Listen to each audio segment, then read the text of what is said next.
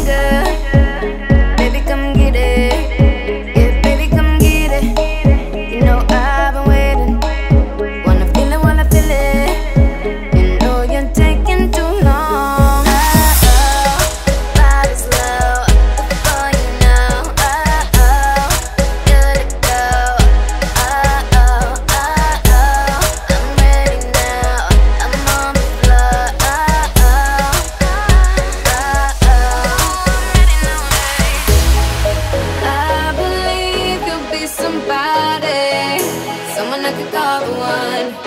You can be my only, only.